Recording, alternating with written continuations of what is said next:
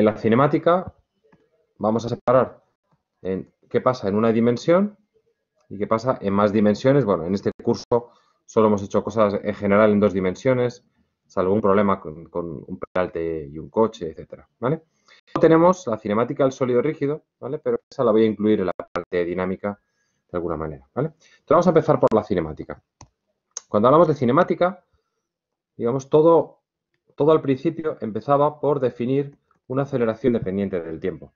Esto es lo más general, esto es lo que aparece en los libros, y es porque esto se define como la variación instantánea de la velocidad. Esto es lo que llamamos aceleración instantánea, que eso es un concepto que habéis visto en bachillerato, ¿vale? pero que en general nunca se usa porque se suele utilizar aceleraciones constantes. ¿vale? Esto también nosotros le llamamos aquello de caso 1 de cinemática. ¿vale? Otra cosa que hemos aprendido es, si tenemos esta expresión, hay una técnica que hemos llamado separación de variables, que veréis el año que viene en ecuaciones diferenciales. Separación de variables. Que consiste en, cuando yo tengo una ecuación en la que aparecen dos variables como máximo, en este caso el tiempo y la velocidad, yo puedo resolver esta ecuación dejando en un lado todo lo que depende de una variable y en el otro lado todo lo que depende de la otra. En este caso, pues, tenemos la velocidad y el tiempo aparece aquí y aquí. ¿vale? Entonces, nuestra separación de variables, para este caso 1 de cinemática, consiste en dejar el tiempo en un lado y la velocidad en el otro. Otra idea importante de este curso es que todas las integrales son definidas. Y además, tiene que haber consistencia entre los límites de integración. Es decir, consistencia interna, si esto es un tiempo, pues esta unidad es el tiempo, por ejemplo, 0, y luego consistencia con la otra variable. Lo que estoy poniendo aquí es la velocidad para ese tiempo cero. Esto puede ser cero, puede ser 3 o lo que sea. ¿De acuerdo?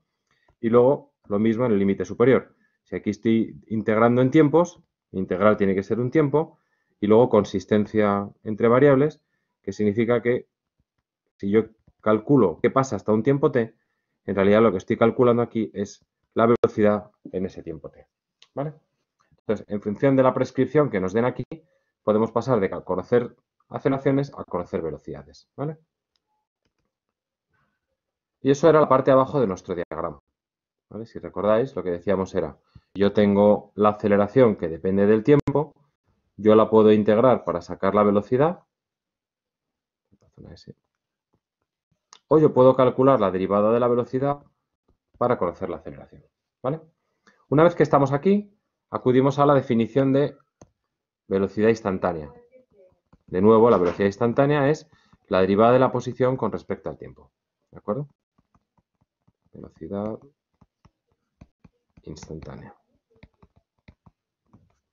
Y de nuevo, en este caso tenemos dos variables, tenemos el tiempo que aparece aquí y la posición. Luego podemos usar esa separación de variables y escribiríamos diferencial de x, que me lo dejo en un lado, igual a v de t diferencial de t. Y de nuevo, consistencia interna, es decir, si yo integro tiempos, pues de tiempo a tiempo, y de posición a posición y luego consistencia entre variables. ¿vale? Este, esta posición corresponde a este tiempo y esta posición corresponde a este. ¿vale? Un, consejo que os doy en general, una cosa que suele ser peligrosa, hay que tener un poquito de cuidado, es, aunque un problema nos pida qué pasa, por ejemplo, en t igual a 8 segundos, ¿vale? A mí me gusta siempre dejar la integral hasta t y la x hasta x, ¿vale? Y una vez que he despejado esta x, ya puedo representar x en función del tiempo, ¿vale? Es decir, yo prefiero que en general no pongáis aquí el 8 directamente, ¿vale? Tened cuidado, un poco de cuidado con eso.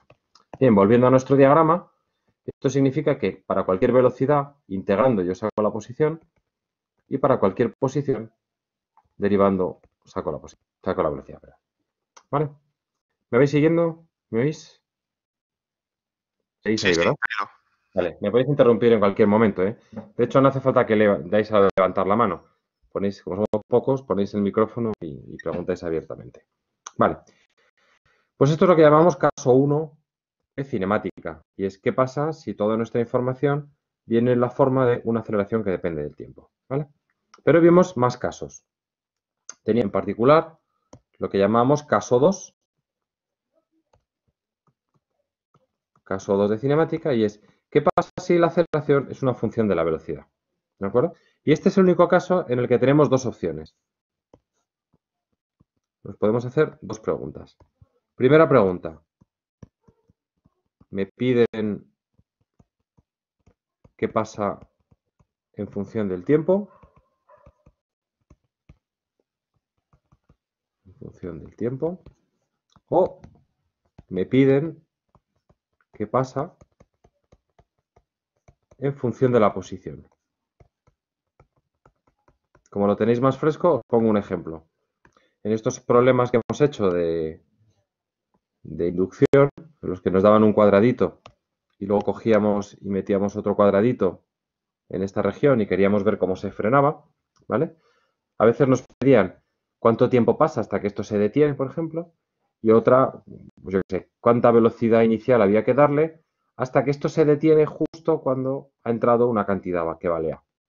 En el segundo caso me están pidiendo algo que depende de la posición y en el primer caso algo que depende del tiempo. Y aquí tenemos una aceleración que dependía de la velocidad, porque si recordáis, pues, por eso de la FED de movimiento, o bueno, la propia ley de Faraday, la fuerza al final dependía de V y por tanto la aceleración depende de V. ¿vale? Entonces es importante hacerse esta pregunta porque la separación de variables va a ser distinta. En este caso, la separación de variables es directa.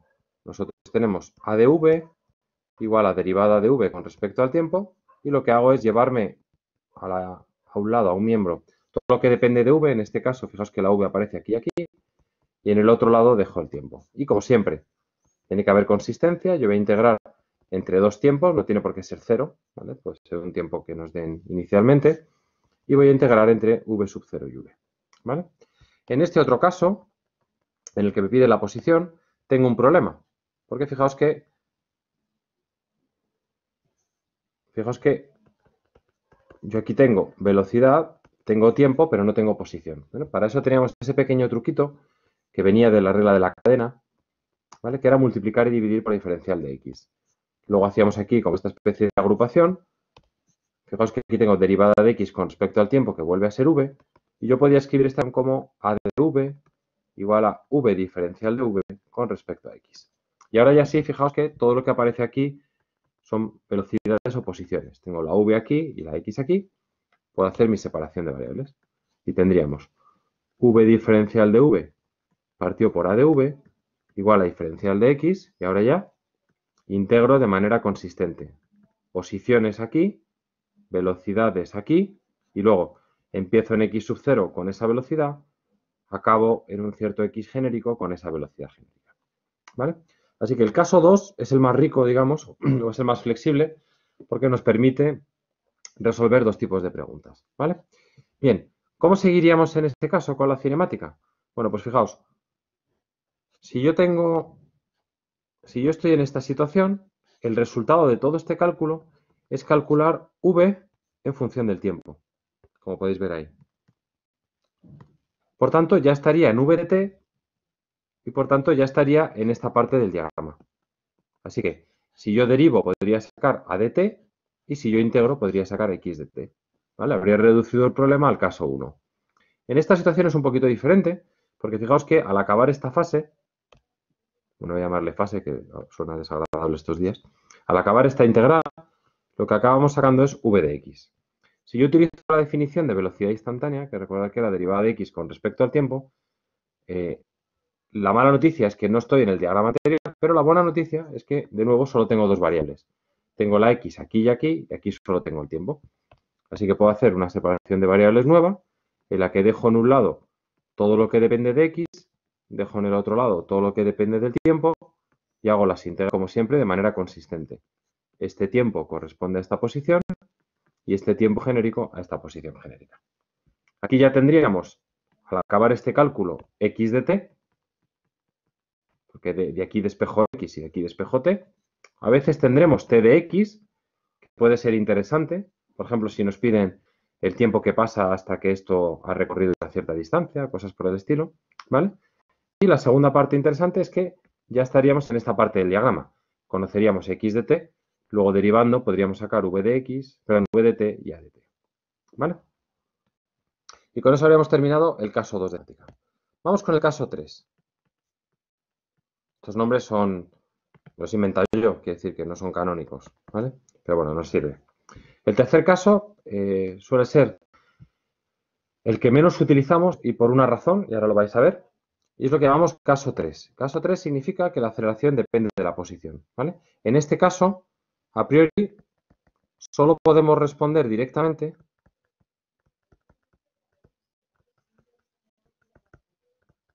Digo directamente porque una vez que tenemos la posición frente al tiempo podemos calcular cualquier cosa. Solo podemos responder directamente a preguntas. A la pregunta, estoy repitiendo. A las preguntas que relacionen velocidades y posiciones. ¿Vale?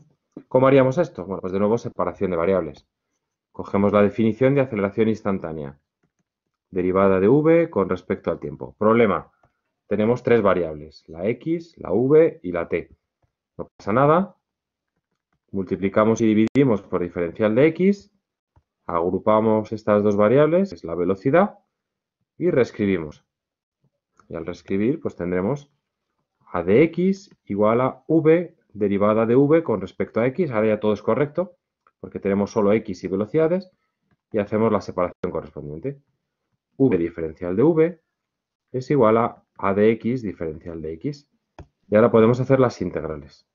Siempre consistentes. Aquí estoy integrando posiciones, aquí estoy integrando velocidades, todas las integrales son definidas y esos límites de integración y estos corresponden a la misma situación. ¿Vale? Bien, ¿por qué este caso casi nunca lo hemos usado a partir de septiembre? Pues por una razón. Fijaos, si yo hago esta primera integral, esta la puedo hacer siempre, lo que me queda es v cuadrado partido por 2 integrado entre v sub 0 y v. Y en el otro lado me sigue quedando x sub 0x a de x diferencial de x. ¿vale?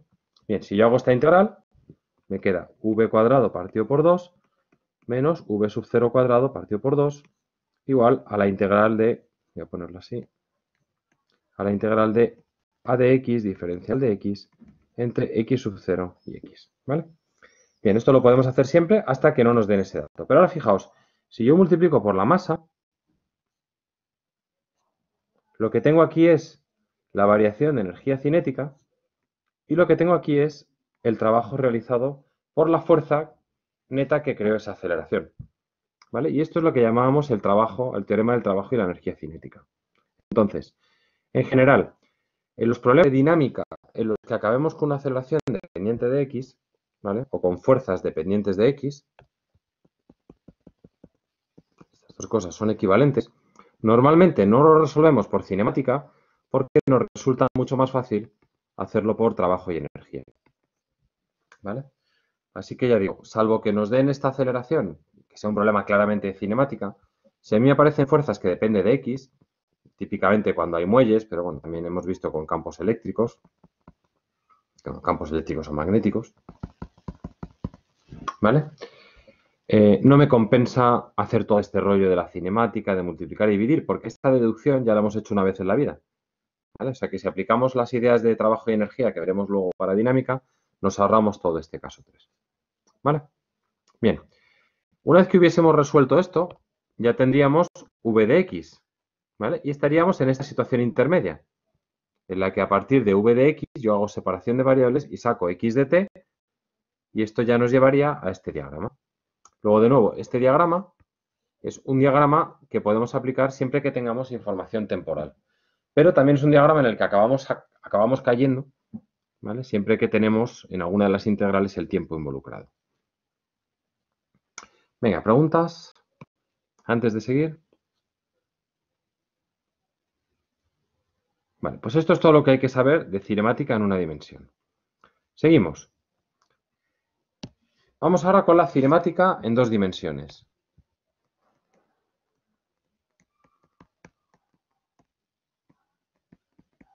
Aquí voy a separar dos casos.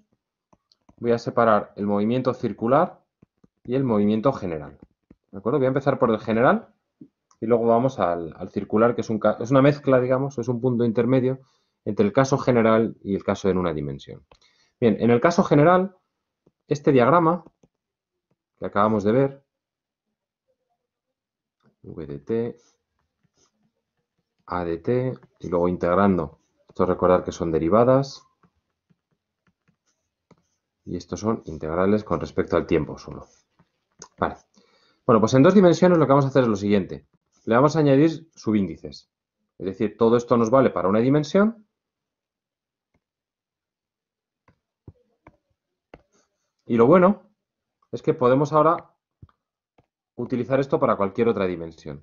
Por ejemplo, I de t haríamos lo mismo.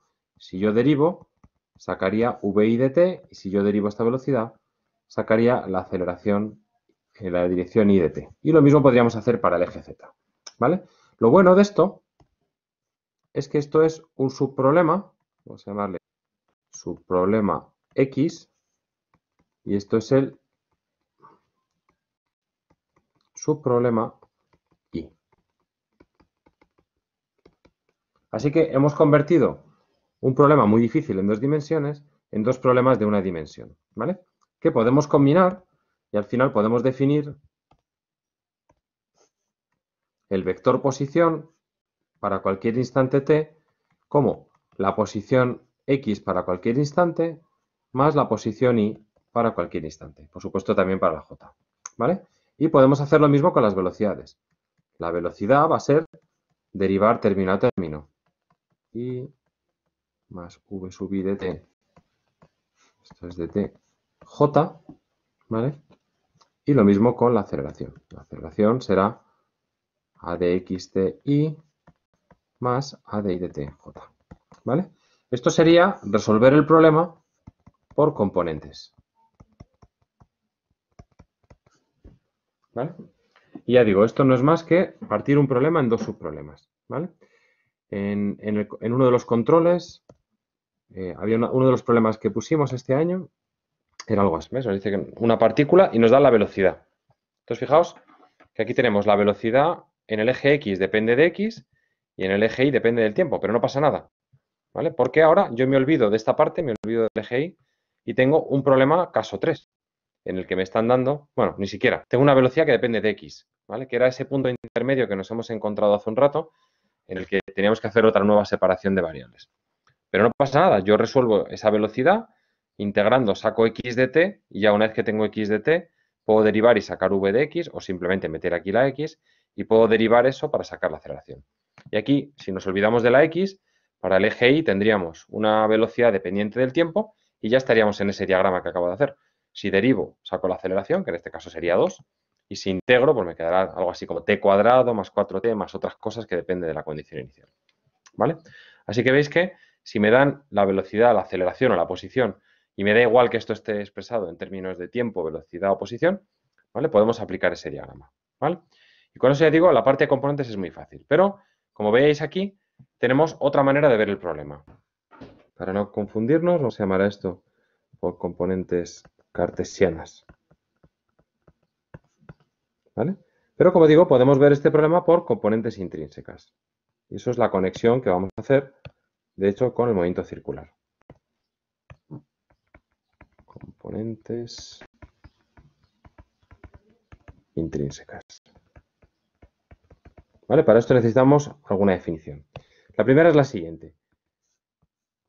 Imaginaos un diagrama en el que en lugar de poner posición y tiempos, yo pongo coordenada X y coordenada Y. Al movimiento de la partícula en este diagrama, a esta curva la llamamos trayectoria. A este vectorcito que une el principio con el final, le llamamos Vector desplazamiento. ¿Vale?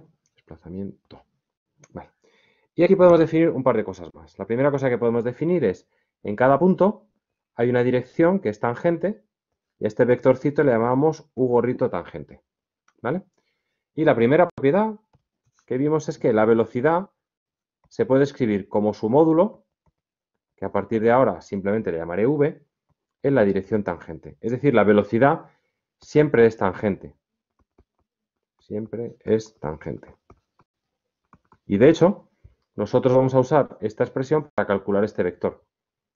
El vector tangente se puede calcular si conocemos la velocidad dividiendo por su módulo. ¿Vale? Y luego tenemos otra dirección. Fijaos, bueno, fijaos que el vector tangente cambiando en cada punto. Pero luego tenemos un vector que es perpendicular a este que llamamos vector normal. Y este es un poquito más complicado. Este es el vector tangente, porque el vector normal es perpendicular a este en cada punto. ¿Vale?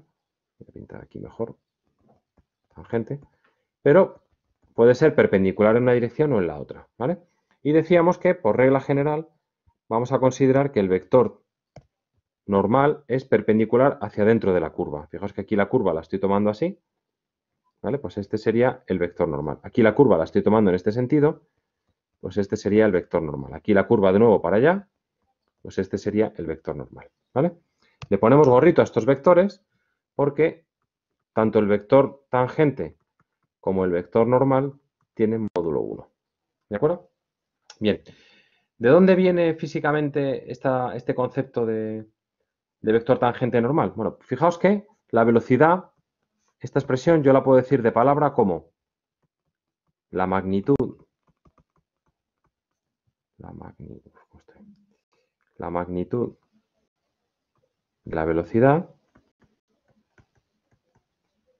multiplicado por su dirección y sentido. Dirección y sentido. ¿vale? Esto es lo que, por cierto, a esto los, en inglés se le llama velocity y esto en inglés se le llama speed. ¿Vale? Vale, entonces, si nosotros derivamos esta expresión, si yo hago la derivada de v con respecto al tiempo, fijaos que es un producto de dos cosas. Pues esto aplicaré la regla de la cadena. Derivada del primero por el segundo sin derivar, más el primero por la derivada del segundo. Esto me mide cambios en la magnitud, cambios en la magnitud, en el módulo, magnitud, ¿vale? Que esto es lo que llamamos aceleración, aceleración tangencial. No te mates, no te mates, te pasa ¿Vale? ¿Por qué se llama aceleración tangencial? porque fijaos que es proporcional al vector tangente. Esto, por poner una analogía eh, cotidiana, esto significa pisar el acelerador o el freno. Cada vez que pisamos el acelerador o el freno, estamos cambiando la aguja, digamos, del, velocímetro del coche, ¿vale? Y eso, eso significa que estamos cambiando la aceleración tangente. Pero luego tenemos esta parte, y esta parte de aquí se puede ver, la demostración la tenéis en el Tipler, nunca me ha interesado mucho. Esto se puede escribir como V, otra V, digamos, partido por esta cantidad, que ahora digo que es, por la aceleración normal. ¿vale? Así que a todo este, todo este término, que lo podemos poner como V cuadrado partido por ρ U sub n, le vamos a llamar aceleración normal. Y lo que mide son los cambios en la dirección. Cuando digo dirección, lo digo en sentido anglosajón, no en sentido francés. Los franceses dicen dirección y sentido, igual que en España. Los, anglosajones dicen dirección, ya se entiende que va el sentido implícito. ¿vale? Y a esto le llamamos aceleración normal o centrípeta, porque veis que es proporcional al vector normal. Y esto depende del módulo al cuadrado de la velocidad, pero depende de esta cantidad que es lo que llamamos radio de curvatura, que nos dice cómo de curvada está nuestra trayectoria. Por ejemplo, volviendo a nuestro dibujito, a alargarlo un poco. Esta zona de aquí tendría un radio curvatura muy pequeñito. ¿Por qué? Porque fijaos que yo puedo utilizar una pequeña circunferencia, ¿vale? Para describir esta curva, este tramo de curva de aquí, ¿vale? Como esta circunferencia tiene un radio pequeño, pues esto tiene un radio curvatura pequeño. En esta zona de aquí, por ejemplo, yo tendría un radio curvatura muy grande. ¿Por qué? Porque esta circunferencia que que se parece mucho a este tramo de curva, ¿vale? Tiene un radio muy grande. Así que tenemos ese concepto de radio curvatura, que es como el radio de una circunferencia que envolvería esa curva, ¿vale?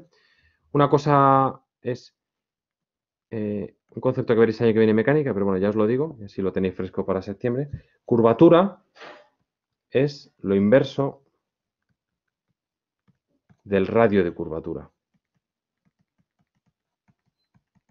Y esto tiene que ver con el lenguaje cotidiano.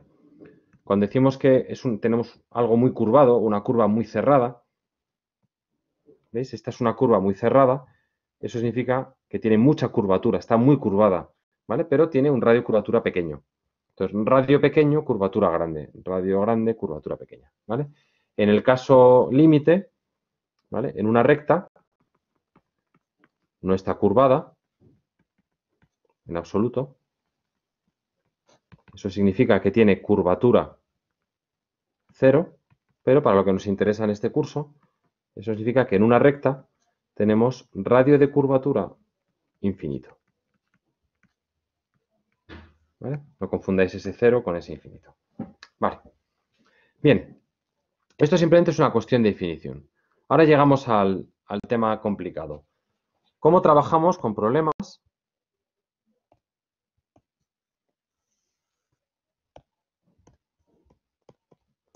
¿Cómo resolvemos? Como el que os he enseñado antes. Problemas que tienen componentes tangencial y normal. Tangencial y normal. Bueno, pues antes de hacer eso, una última propiedad y es que, si os fijáis, he dicho que el vector tangente y el vector normal son siempre perpendiculares, ¿vale? Así que no nos olvidemos de esto. U tangente es perpendicular, perpendicular a U normal, ¿vale? Eso hemos visto muchas veces este curso, que eso significa que su producto escalar es cero, ¿vale? Pero también significa que esa aceleración que yo he escrito antes como la suma del vector aceleración tangencial más el vector aceleración normal, como las componentes son perpendiculares, significa que el módulo lo puedo poner como la suma de los cuadrados de las componentes. ¿Vale? Bien, entonces, ¿cómo resolvemos problemas en los que tenemos componente tangencial y normal?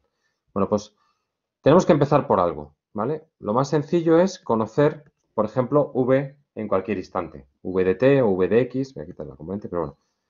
Imaginemos que conocemos v o podemos calcularlo a partir de sus componentes, como hemos hecho aquí. Perdón, como hemos hecho aquí, ¿vale? Tenemos su problema x, su problema y, lo combinamos y ya tenemos la velocidad. Entonces, supongamos que tenemos la velocidad. Bueno, a partir de la velocidad vamos a sacar dos cosas. Vamos a sacar su módulo, que será la raíz cuadrada de la suma de las cuadradas de los componentes.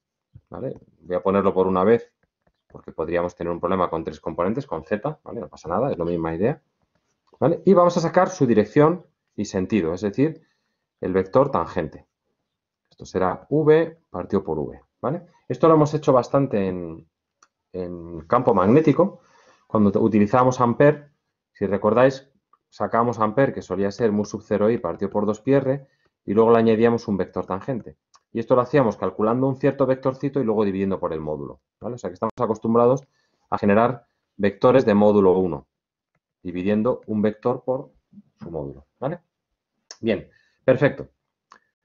Ya tenemos módulo de v y u de aquí podríamos derivar, como hemos visto, y calcular la aceleración vectorial para cualquier instante.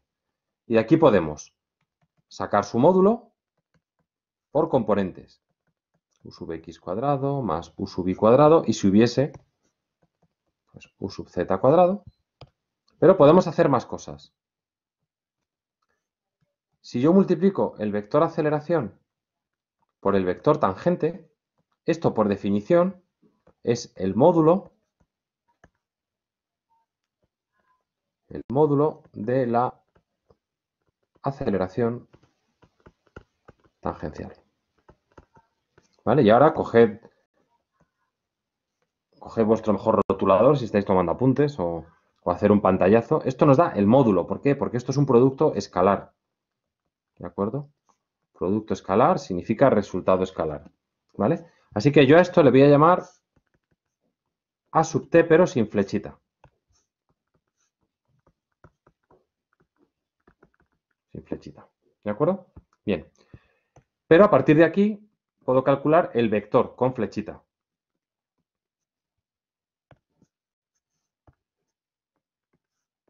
Voy a ponerlo explícito con flechita. Y el vector será este módulo que acabo de calcular, de nuevo, multiplicado por el vector tangente. Esto no es un producto escalar. No es otro producto escalar. ¿Vale? Esto simplemente es un escalar que multiplica a un vector. ¿Vale? ¿Qué hemos hecho aquí? Pues resumiendo un poco, lo que hemos calculado es que la aceleración tangencial vector lo puedo calcular como su amplitud, que lo voy a sacar como a por el vector tangente, veces el vector tangente. Y esto es, si no se os ha olvidado todavía o si lo habéis visto este año en cálculo, esto es lo que se llama la proyección, la proyección del vector aceleración sobre la dirección tangente.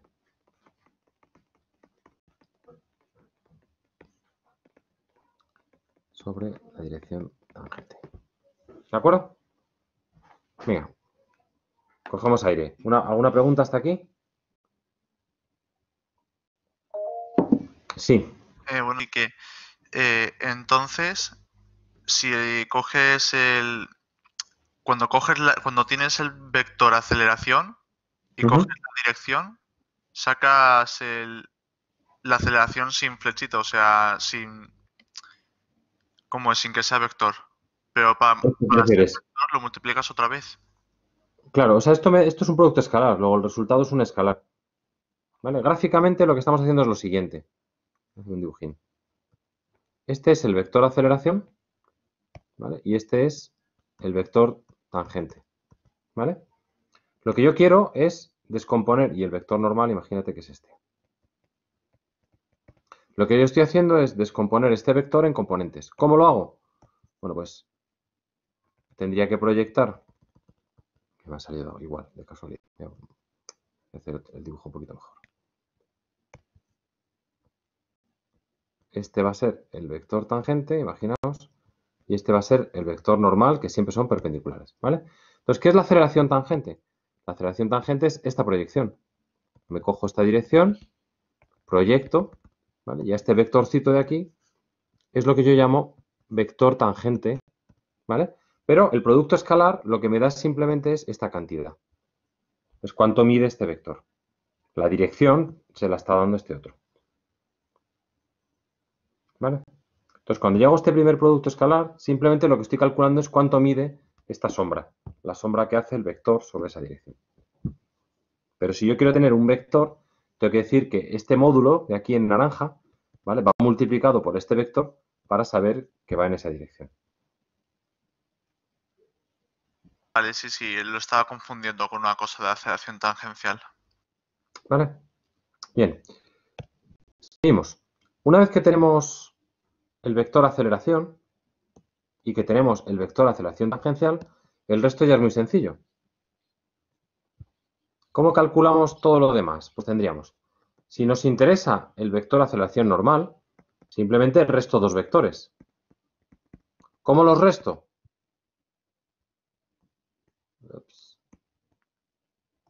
¿Cómo los resto? Pues restamos componente a componente. Es decir, la X con la X, todo lo que va con X va con X, o con Y, con J, lo que queráis. Componente a componente. ¿Vale? Esto sí me interesa el vector. Si solo me interesa el módulo, truco para vagos como yo, si solo nos interesa el módulo, en realidad podemos aprovechar esa expresión que tenía antes arriba. La aceleración total al cuadrado es la tangencial al cuadrado más la normal al cuadrado. Y aquí podría despejar la aceleración normal como la raíz cuadrada de la hipotenusa, que es el módulo, menos el cateto, que es en este caso la tangencia. ¿Vale? Bien. Y podemos seguir, porque una vez que tengo este, yo sé que este módulo vale v cuadrado partido por el radio curvatura. Luego podríamos calcular el radio curvatura como v cuadrado partido por la aceleración normal. Y con esto tendríamos ya todo el problema. Pues, en problemas como este,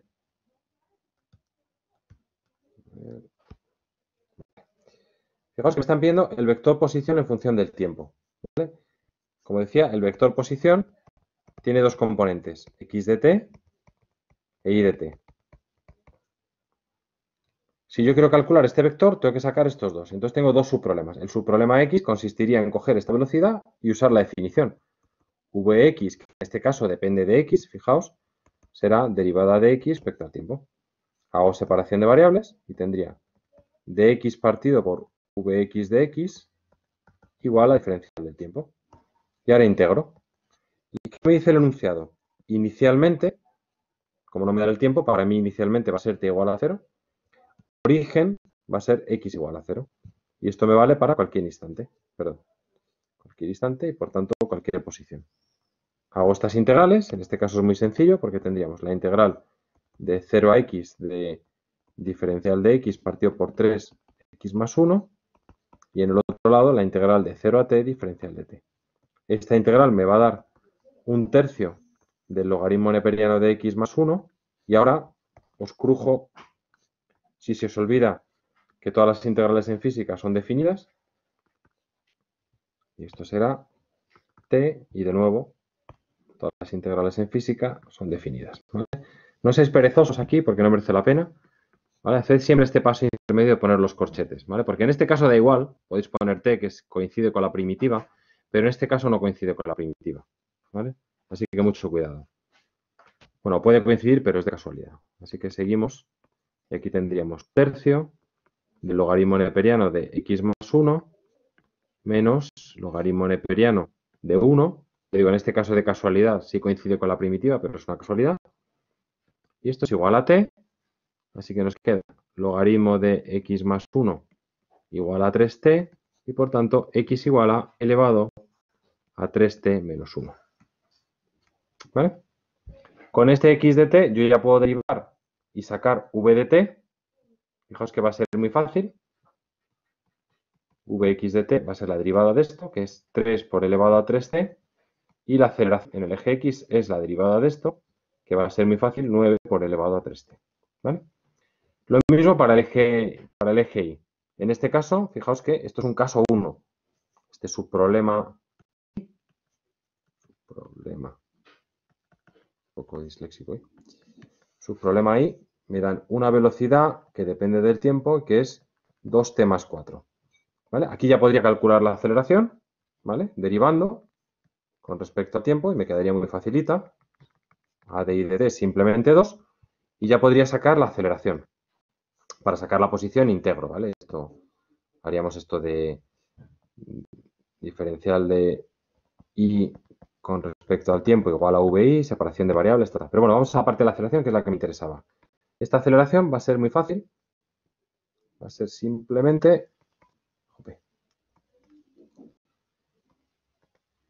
Simplemente esto elevado a 3t por i más esto por j. Y luego metros por segundo al cuadrado. ¿Vale? Y la velocidad pues va a ser muy fácil. Va a ser en el eje X lo que acabamos de calcular, 3t por elevado a 3ti, y en el eje Y me lo dan. Más 2t más 4j. ¿Vale? Y ya con esto yo podría calcular cualquier cosa. Podría calcular, como hemos dicho, por ejemplo, el módulo de v. El módulo de v pues será la raíz cuadrada de 3 por elevado a 3t todo al cuadrado más 2t más 4 al cuadrado yo podría sacar el vector tangente, que será el módulo, eh, toda la velocidad partido por su módulo, es decir, 3 elevado a 3t partido por este chorizo de aquí por i, más 2t más 4 partido por este chorizo, j. ¿Vale? Aceleraciones, pues lo mismo. Yo ahora cojo esta aceleración y la multiplico por este vector. ¿vale? Veis que nos está quedando muy feo, pero bueno, el enunciado era tan macabro, ¿vale? Nos pedía en el instante inicial, ¿vale? Que es mucho más fácil, porque fijaos que en el instante inicial, en t igual a 0, esto simplemente va a ser 9i más 2j, esto va a ser 3i más 4j, ¿vale? El módulo va a ser 5 metros por segundo, o sea que queda todo muy chiquito, ¿vale? Pero bueno, para que cojáis la idea, ¿vale? Así que no os atasquéis y siempre a esa teoría, ¿vale? Durante este periodo, en el examen no podéis tener la chuletilla, pero durante este periodo de prácticas, este resumen que os estoy haciendo, ¿vale? Lo podéis tener siempre delante. Bien, fijaos que el último apartado decía el radio curvatura, bueno, pues esto es el fin de fiesta, ¿vale? Y con eso terminaríamos el movimiento en dos e incluso tres dimensiones. Vamos a pasar ahora al movimiento circular, que es un caso particular de movimiento en tres dimensiones, pero que casi se parece más al movimiento en una dimensión. Entonces, movimiento circular.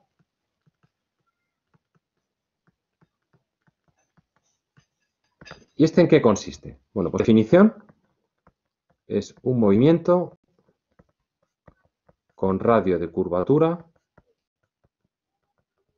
con radio de curvatura constante, ¿vale? Que es lo que llamamos el radio de la circunferencia. ¿Y eso qué implicaciones tiene? La primera implicación es que la aceleración normal la puedo sacar directamente del módulo de la velocidad. No tengo que hacer toda esta historia que he hecho hasta aquí. Aquí he tenido que hacer toda esta historia de sacar las componentes, etcétera, porque no conocía el radio de curvatura. ¿vale? Pero ahora lo puedo hacer directamente. ¿vale? Así que fijaos que es mucho más sencillo. Y lo segundo que podemos hacer es reemplazar esta descripción del vector posición. ¿vale? Ahora todo queda descrito por el arco, que es la posición dentro de la circunferencia, si esta es mi circunferencia, estos son mis ejes, empezamos aquí, el eje X. Bueno, pues el arco va a ser esta distancia de aquí, ¿vale? O por el ángulo.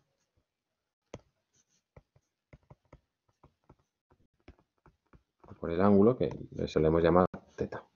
¿De acuerdo? Y que se relacionan mediante esta expresión.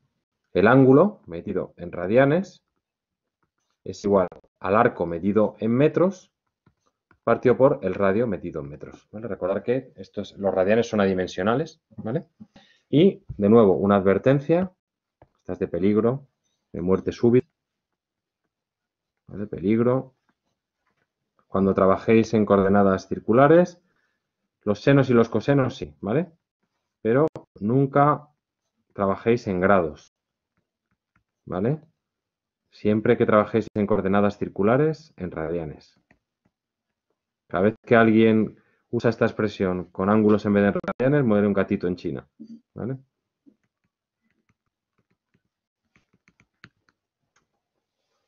Bien, ¿Qué implicaciones tiene esto de trabajar con el arco? Pues es muy sencillo. Volvemos a una dimensión y este diagrama que nos habíamos hecho para una dimensión, este resumen, nos vale ahora para tres dimensiones, para momento circular, mejor dicho. ¿Cómo? Pues venimos aquí y nos hacemos el mismo diagrama. Si yo conozco S de t, pues yo derivando puedo calcular el módulo de la velocidad. Ojo, ¿vale? Solo el módulo. ¿Por qué no me importa la dirección y sentido? Porque una vez que conozco la posición, una vez que conozco el arco, la dirección y sentido va a ser tangente. Este va a ser nuestro vector tangente. En cada punto siempre es un vector tangente a la curva. ¿De acuerdo? Vale. Si yo conozco la velocidad para cualquier instante, yo puedo sacar la aceleración tangencial. ¿Por qué la aceleración tangencial? Porque recordar que la aceleración tangencial medía el acelerador y el freno, es decir, los cambios en el módulo. Así que mucho cuidado porque esto no es la aceleración total. ¿vale? Esto es, ojo, solo la tangencial. Pero, por esta propiedad de que el radio curvatura es constante, conociendo la velocidad gratis, conocemos la componente normal, es v cuadrado partido por r. ¿De acuerdo? Y de nuevo, si yo conozco la aceleración en función del tiempo, esto es lo que llamaríamos un caso 1, pero en movimiento circular. Yo puedo calcular integrando respecto al tiempo la velocidad e integrando la velocidad podría calcular la posición. ¿Vale? Así que, ¿cómo será la cinemática circular? Si pregunta. Nada, Vale. Pues tendremos caso 1. Aceleraciones tangenciales que dependen del tiempo. Caso 2. Aceleraciones tangenciales que dependen de la, de la velocidad. En este caso, del módulo de la velocidad. Caso 3. Aceleraciones tangenciales que dependen de la posición, pero fijaos que la posición no se llama X, se llama arco. ¿Vale? Pero todo lo demás es lo mismo. Es decir, ¿cómo resolveríamos un problema de caso 1? Pues separación de variables. Cojo la definición y digo aceleración tangencial con respecto al tiempo es derivada del módulo con respecto al tiempo. Separo variables a t del tiempo diferencial de t. Le pongo los violines de tiempo inicial, velocidad inicial, tiempo final, velocidad final. ¿Vale? Caso 2, pues separo el problema en dos preguntas. Si me piden cosas que dependen del tiempo, pues hago la separación de variables directa. Es decir, cojo esta expresión y me llevo a un lado todo lo que depende de v y al otro lado todo lo que depende del tiempo. Si me piden cosas que dependen de la posición, del arco, pues cojo esta expresión, que es la misma, ¿vale? Pero como aquí tengo tres variables en vez de dos, hago el, el truco este de multiplicar y dividir por diferencial de s, agrupo y fijaos que la variación del arco con respecto al tiempo es el módulo de la velocidad, luego esto es v, y me queda por separación de variables igual que antes. v derivada de v partido por la aceleración tangencial con respecto a v igual a diferencial de arco. ¿eh? Y veis que ya tengo cómo relacionar velocidad con arco.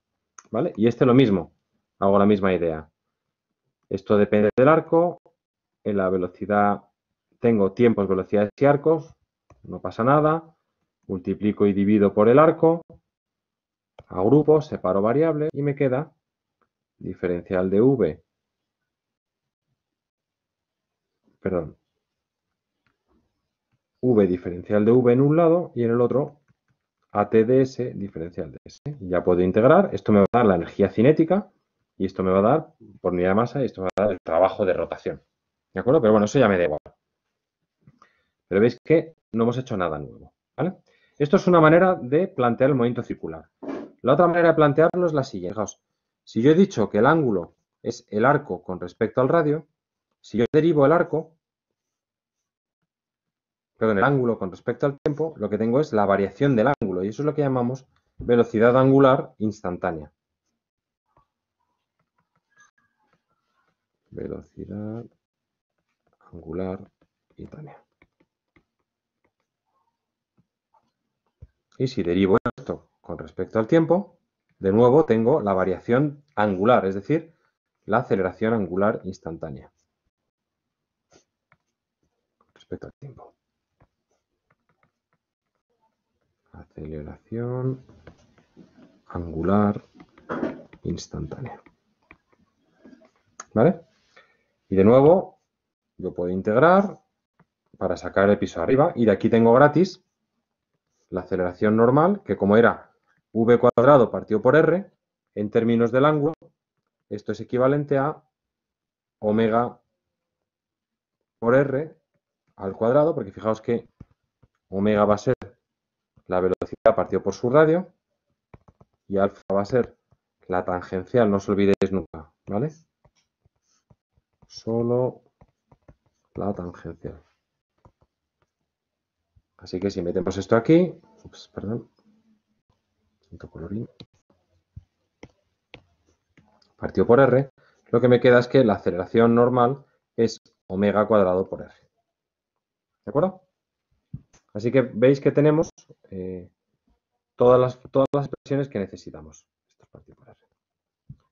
¿Vale? Podemos trabajar en ángulos, podemos trabajar en arcos, pero ojo, estos son siempre radianes esto va a ser radianes por segundo. Y esto va a ser radianes por segundo al cuadrado. Y con esto tenemos todo el movimiento en una, dos y tres dimensiones, circular, rectilíneo, lo que sea. Es decir, con esto tenemos toda la cinemática.